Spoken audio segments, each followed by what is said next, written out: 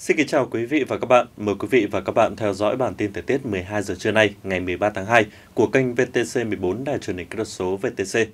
Thưa quý vị và các bạn, ngày hôm nay, người dân các tỉnh thành miền Bắc vẫn tiếp tục được du xuân chảy hội trong tiết trời không mưa, nắng giáo với nhiệt độ có xu hướng tăng hơn so với ngày hôm qua. Cao nhất trưa nay phổ biến ở vào mức 26 đến 27 độ, có nơi trên 27 độ.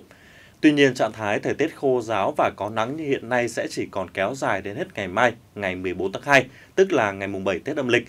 Do ban ngày thì trời vẫn nắng giáo, nhiệt độ cao nhất ở vào mức từ 25 đến 29 độ, nên người dân và khách du lịch có thể hoàn toàn yên tâm đi du xuân trên khắp các tỉnh thành miền Bắc hay là tham gia vào các lễ hội. Đặc biệt, thời tiết cũng chiều lòng người khi mà ngày mai, ngày lễ tình nhân, mà hoạt động vui chơi giải trí ngoài trời có thể diễn ra rất thuận lợi. Tuy nhiên, theo dự báo, từ đêm mai, một đợt không khí lạnh từ phía Bắc sẽ tràn xuống nước ta và khiến cho thời tiết miền Bắc thay đổi đáng kể. Trời chuyển nhiều mây hơn và nhiệt độ bắt đầu giảm dần. Sang đến ngày 15 và ngày 16 thì trời âm u, mưa nhỏ xảy ra ở một vài nơi, nên nhiệt giảm mạnh, cao nhất ngày chỉ còn dao động từ 16 đến 19 độ. Như vậy là trong tuần làm việc đầu tiên của năm mới Bính Thân, trời sẽ chuyển rét, quý vị nên chú ý bảo vệ sức khỏe trong thời điểm thời tiết có sự thay đổi. Cùng chung xu thế thời tiết tốt tại các tỉnh thành Bắc Bộ trong ngày hôm nay và ngày mai, tại khu vực Bắc và Trung Trung Bộ vẫn phổ biến là nắng giáo cùng với nhiệt độ cao nhất ban trưa ở vào mức từ 29 đến 32 độ. Thời tiết nói chung khá thuận lợi cho những chuyến du xuân của người dân và các hoạt động du lịch biển.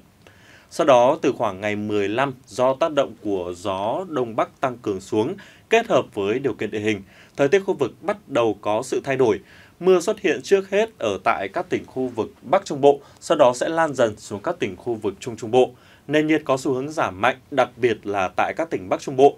Trời chuyển rét với nhiệt độ cao nhất chỉ dao động từ 17 đến 20 độ.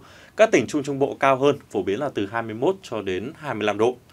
Với các tỉnh Nam Trung Bộ, khu vực Tây Nguyên và Nam Bộ thời tiết ổn định nhất cả nước khi mà 3 ngày tới phổ biến là không mưa. Ban ngày thì trời có nắng đẹp, nhiệt độ cao nhất tại Nam Trung Bộ và Tây Nguyên phổ biến ở vào mức từ 29 đến 32 độ. Còn đối với khu vực Nam Bộ giao động ở mức 31 đến 34 độ. Riêng một số tỉnh thành thuộc miền Đông Nam Bộ thì còn có thể vượt ngưỡng là 34 độ, trời oi nóng vào lúc giữa trưa. Thưa quý vị và tiếp theo là phần dự báo chi tiết trong 3 ngày tới cho các khu vực trên cả nước. Mời quý vị cùng theo dõi. Khu vực phía Tây Bắc Bộ ngày mai mây thay đổi ít mưa, ngày nắng gió nhẹ. Nhiệt độ cao nhất dao động từ 26 đến 30 độ. Sang đến hai ngày tiếp theo trời chuyển nhiều mây, có mưa ở một vài nơi, nên nhiệt giảm mạnh xuống ngưỡng từ 21 đến 24 độ. Với các tỉnh thuộc khu vực phía Đông Bắc Bộ, ngày mai mây thay đổi ít mưa, trưa chiều trời nắng gió nhẹ, nhiệt độ là từ 25 đến 28 độ. Từ đêm ngày 14 sang đến ngày 16, nhiều mây có mưa nhỏ vài nơi, nhiệt độ giảm mạnh và cao nhất chỉ còn từ 15 đến 19 độ, trời chuyển rét. Xuôi xuống miền Trung đến với khu vực các tỉnh từ Thanh Hóa tới Thừa Thiên Huế. Trong ngày mai trời phổ biến là không mưa, ngày nắng gió nhẹ. Nhiệt độ cao nhất sẽ dao động từ 29 đến 32 độ. Sang hai ngày tiếp theo trời chuyển nhiều mây, có mưa nhỏ rải rác nên nhiệt giảm nhanh xuống dưới 23 độ. Tới các tỉnh khu vực từ Đà Nẵng đến Bình Thuận, trạng thái thời tiết chủ đạo ngày mai là đêm không mưa, ngày nắng. Nhiệt độ cao nhất từ 29 đến 32 độ. Ngày 15 và ngày 16 phía Bắc nhiều mây có mưa nhỏ rải rác, đêm và sáng trời lạnh. Phía Nam phổ biến ít mưa, ngày nắng với nhiệt độ cao nhất ngày phổ biến dao động từ 25 đến 31 độ. Trở lên với các tỉnh vùng cao thuộc khu vực Tây Nguyên, 3 ngày tới mây thay đổi đêm không mưa, ngày nắng, gió đông bắc ở mức cấp 2, cấp 3, nhiệt độ cao nhất ngày ổn định trong khoảng từ 29 đến 32 độ.